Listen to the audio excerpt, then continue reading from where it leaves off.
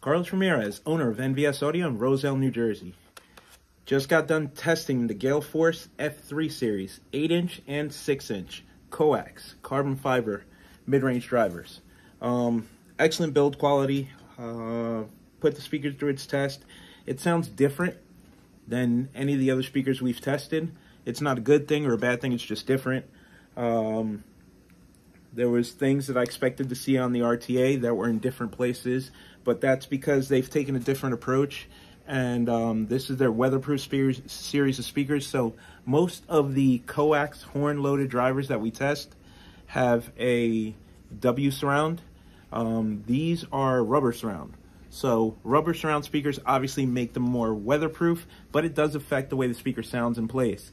Um, speakers with rubber surround are known to have more mid bass, and these do, but that also affects the mid range. So it's not a good or a bad thing. It's know what you're looking for in the sound of the speaker before you pick a speaker, whether it's this speaker or any other speaker. Uh, speaker had excellent mid bass. Obviously, it's weatherproof. Um, the horn cone is made out of metal for you guys that care, and it unscrews. It is removable in case you want to modify it, drill the holes in the center, or get them custom painted. It is removable It's threaded aluminum. These speakers performed well. They handled a ton of power. Um, the owner of the company actually didn't believe that they would fit in Street Glide or Road Glide pods, and they do. It does require a good amount of cutting, but as you can see, we have the speaker loaded in a Street Glide pod right there. Um, we tested in the Road Glide pod too, and it fits. You have to open up the round part of the ring, and you have to cut out a rectangle in the plastic part. We didn't show that in this video. Trying to keep the video short, but I will show in another video if you want me to. But there's the Street Glide Pod, modified, speaker installed, and playing. I like to test motorcycle speakers in motorcycle pods because that's where you're going to be using them. And for this video, I'm the Harley audio guy. They shipped me the speakers, so obviously they wanted me to test them to see how they would sound on a Harley. So we tested them in the Street Glide Pod. Um, these speakers hold an unbelievable amount. So once you put a rubber surround on the speaker, it lowers the efficiency of the speaker. Gives you more mid bass, but it requires more power to make the speaker move. So these speakers did not have a high efficiency. I didn't test the efficiency, but I know it's not that high because it required a insane amount of power to move them. By insane, I mean most people run 100, 150 watts to speaker. On low power, we tested the 6.5 on 400 watts. And then on high power, we tested it on 1200 watts. So we ran test bench. I have a bunch of sound digital amps on the test bench. The horn we ran on 400.4. The mid bass driver, the 6 inch woofer, we ran on an 804 bridge, which gave us 400 watts to the 6.5 woofer. And then we moved it over to a 2404 bridge, which gave us 1200 watts across that same woofer. So, um, you're not running these speakers on 100 watts. I'm sorry. Well, in my opinion, 100 watts not enough. So two, three, four, five, six hundred watts is where you want to be with these speakers. Um, so price on the speakers on the six and a half is four hundred eighty dollars a pair. Price on the eights is five hundred thirty dollars a pair. So I'm really impressed with uh, Alan Palmer. Anytime I ask him a question, he gets whipped back to me within 10 minutes. So uh, every company that sends me speakers, I already know where I'm going to test them at, but I like to know what the company recommends, and I like to know if they know what they're talking about. I was very impressed with Alan's answers.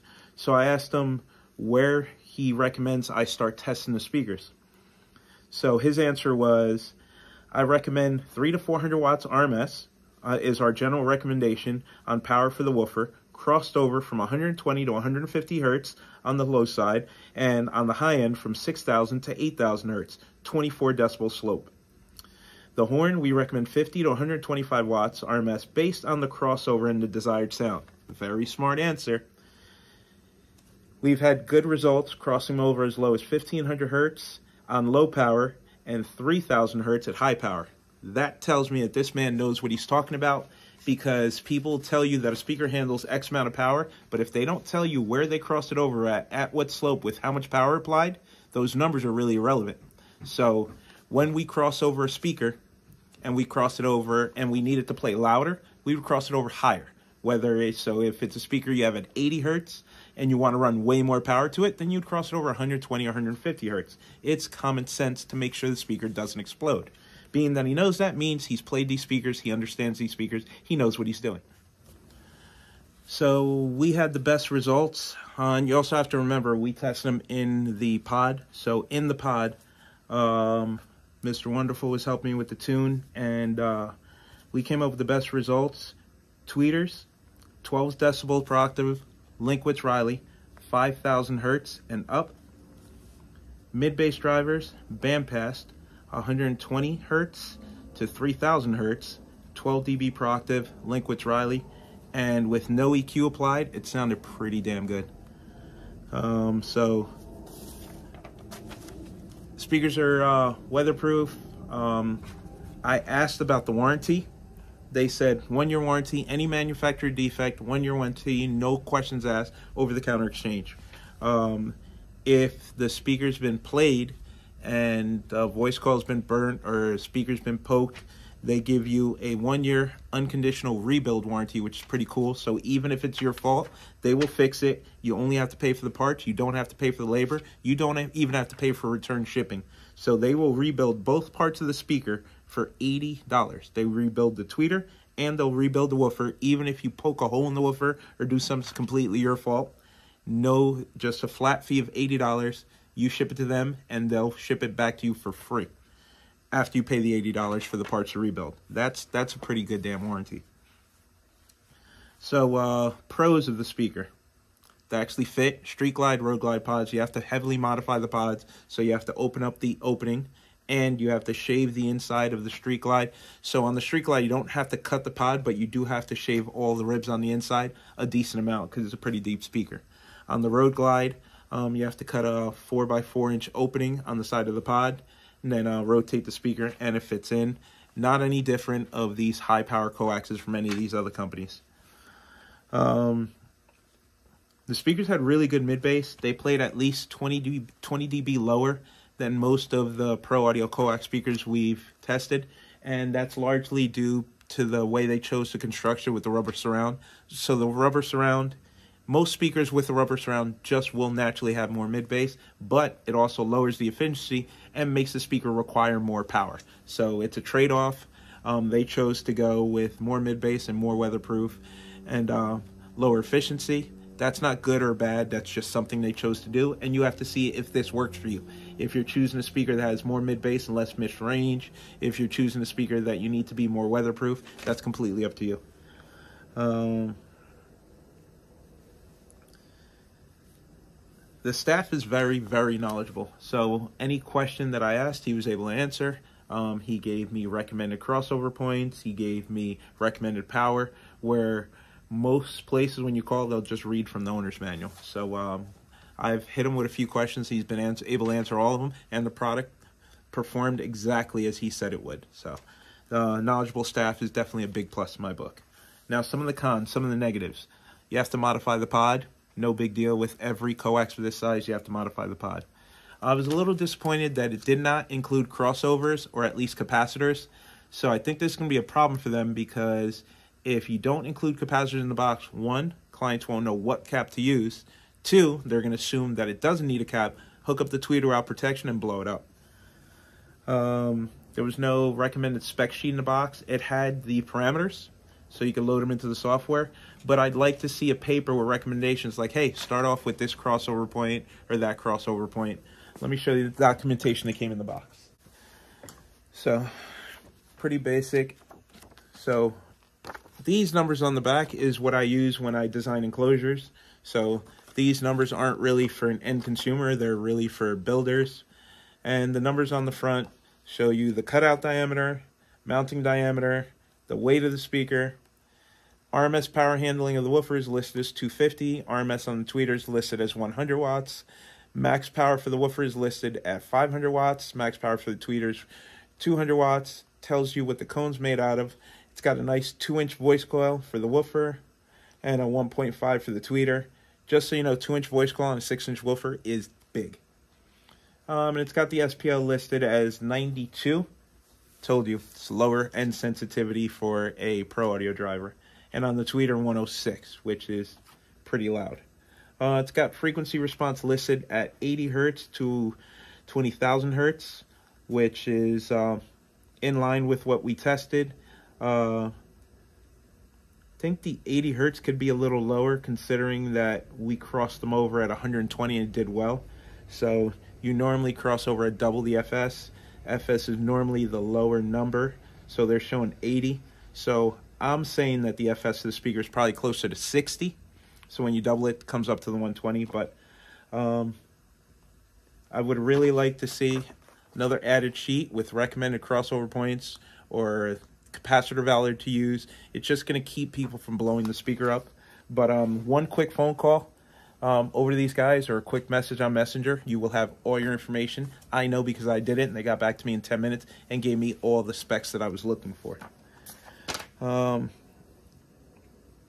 it's not a complete line. This is a brand new company. They started this company with all their own money. It's not like they have millions of dollars of financing from a bigger company, so they can only afford to start with two part numbers, and they did it the smart way.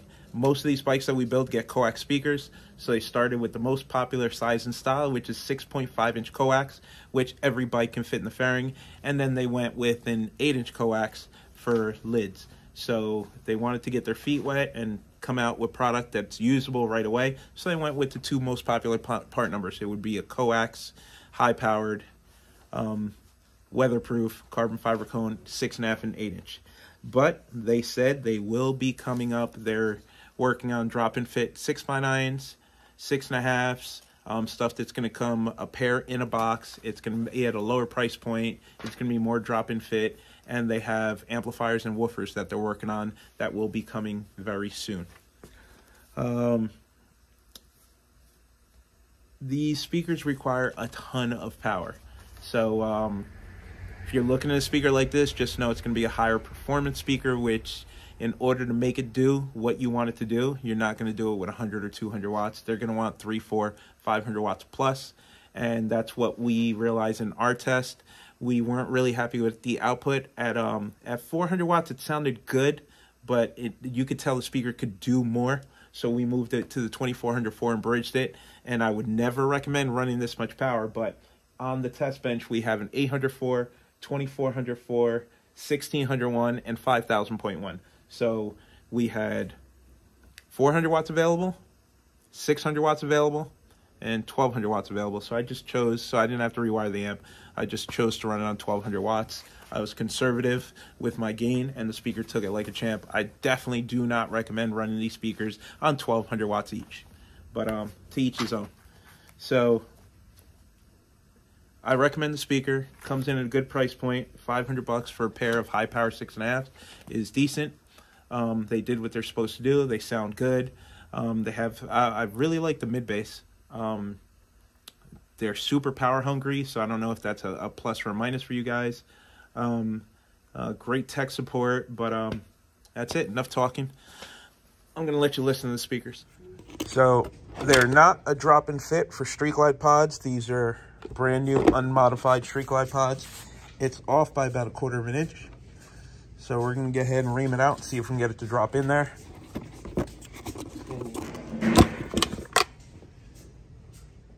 So I knew, come here, cough. I knew I was going to be able to get in there. Rob modified the pod, pull the speaker out.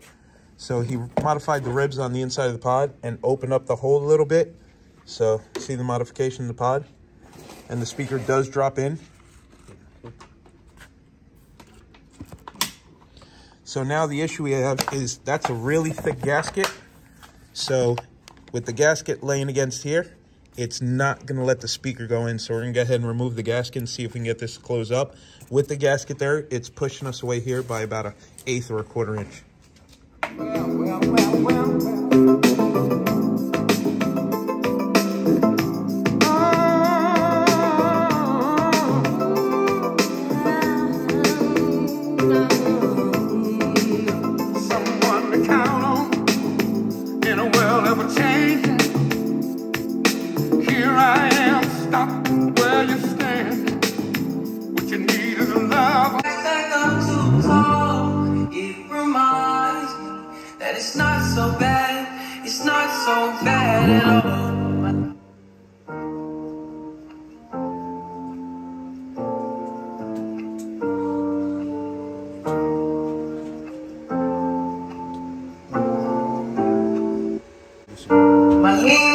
cold, I'm wondering why got out of bed all. 3.5 clouds up my window, and I can't see it all. And even if I could, it would all be great. But these racks stack up too tall. It reminds me that it's not so bad. It's not so bad at all.